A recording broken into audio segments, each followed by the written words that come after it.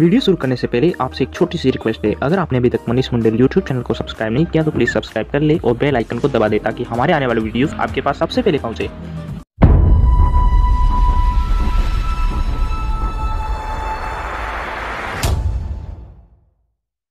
नागौर के लोकसभा चुनाव के प्रत्याशी बड़े ही प्यार से आरोप लगा रहे हैं। जैसे मानो बचपन में दो भाई बहन किसी चीज़ को पाने के लिए एक दूसरे पर आरोप लगाते थे। इस चुनाव में एक तरफ़ पूर्व सांसद ज्योति मिर्दा है तो दूसरी तरफ़ खिमसर के विधायक हनुमान बेनीवाल हैं।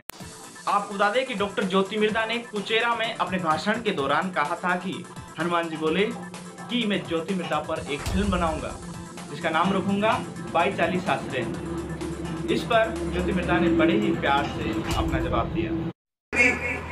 भाषण के अंदर कहते हैं, छह तारीख को जब वोट पड़ेंगे, तब मैं फ़िल्म बनाऊँगा। तो किसी ने पूछा, चले चले तैयारी करते हैं साथ में। बोला, नेताजी, किसी फ़िल्म बनाओ कि भाई चालीस आसरी तो बोले भाई चालीस आसरे बोले, ज्योति मिर्दा को शास्त्र भेजना है ना? अरे भाई, मैं तो शास्त्र गई भी हूँ, बहुत खुश हूँ। ईश्वर करे कि आपकी बच्ची को भी जिस दिन देना है, उसको इतना अच्छा ससुराल मिले। बेटियाँ तो सभी की जाती हैं।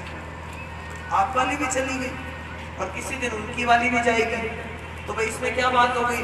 कहते हैं, छह तारीख को पिक्चर बनाऊँगा? तेईस तक को रिज़ल्ट आएगा जिस दिन रिलीज़ करूँगा।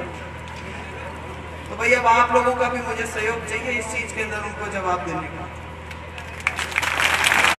दोस्तों, कैसा लगा ये वीडियो? हमें कमेंट में ज़रूर बताएँ और ऐसे ही और इंटरेस्टिंग वीडियोस पाने के लिए चैनल को सब्सक्राइब करके बेल आइकन को दबाना बिल्कुल मत भूलिए क्योंकि मैं आपके लिए रोज़ाना ऐसे इंटरेस्टिंग वीडियोस लेके आता रहता हूँ।